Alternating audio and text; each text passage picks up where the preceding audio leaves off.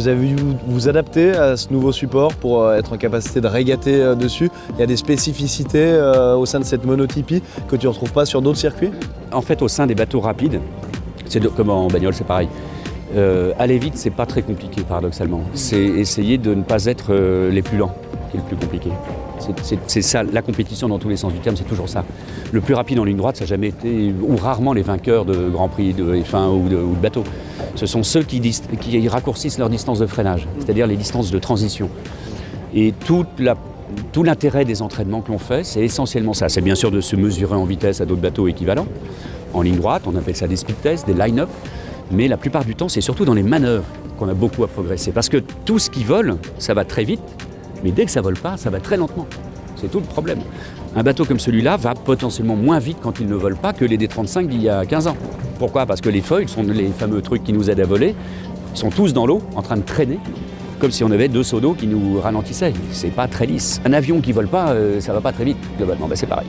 Il y a énormément de, supports volants que le public a, pu découvrir, notamment avec l'America's c'est le GP, on a vu les, GC32, et maintenant le TF35, qu'est-ce qui le, distingue Qu'est-ce, qui te plaît toi dans ce projet-là par rapport à d'autres Pourquoi tu es, ici engagé euh, dans cette équipe-là plutôt que sur un autre circuit euh, dans lequel tu pourrais très bien t'engager également? J'ai eu la chance d'être engagé dans pas mal de circuits déjà, mais il est vrai que c'est juste une opportunité, tu vois, une chance extraordinaire des copains qui m'ont donné un coup de fil parce qu'ils avaient besoin d'un vieux avec des cheveux blancs à la barre, mais bon, ils auraient pu prendre un petit jeune, ça leur aurait fait tout aussi bien, sinon mieux.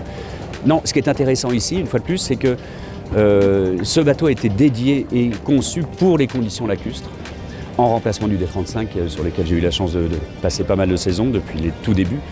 Euh, et, il correspond parfaitement au cahier des charges du lac. Ça, c'est vraiment génial. C'est le côté vraiment passionnant, c'est d'avoir un outil pour naviguer en eau douce quand il n'y a pas beaucoup d'air, même quand il y a de l'air, ça se passe pas mal. Hier, c'était assez violent déjà.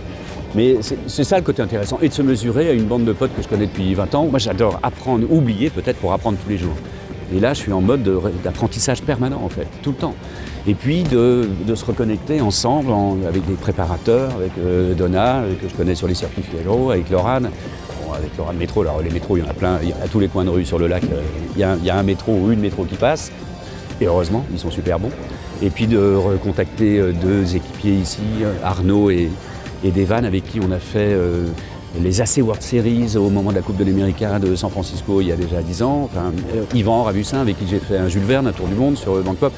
Donc c'est ça ce qui est génial dans le milieu de la voile, en équipage particulièrement, c'est qu'il y, a une, mixité assez géniale et de talents et de générations et de spécialistes qui fait que c'est un vrai bonheur de naviguer ici, tout simplement. Hein. Ce qui nous manque aujourd'hui, c'est notre propriétaire, parce qu'on est là pour ça aussi, on est là grâce à lui.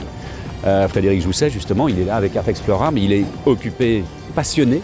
D'ailleurs, c'est essentiellement la raison de l'existence de ces bateaux sur le lac. Hein.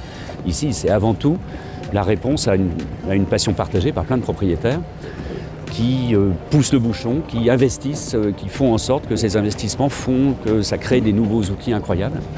Et, qui de temps en temps bah, viennent toucher le guidon parce que c'est ce qu'ils ont envie de faire. Tu as vu la manière éventuellement de remorquer le bateau, c'est qu'on peut se permettre de voler. Quand on est tracté, évidemment, ça va plus vite et ça consomme moins d'essence parce que c'est tout l'intérêt du foil. Les bateaux à foil, leur avenir potentiel, c'est pas forcément la voile. Là, oui, il y a sept bateaux ici, il y en a quelques autres, mais c'est le moteur. Ce sont d'abord les bateaux à moteur qui vont se mettre au foil parce que ça leur permettra de réduire leur consommation énormément et leur vague d'ailleurs. Et euh, pour autant qu'on ait toujours envie de faire du moteur. Et...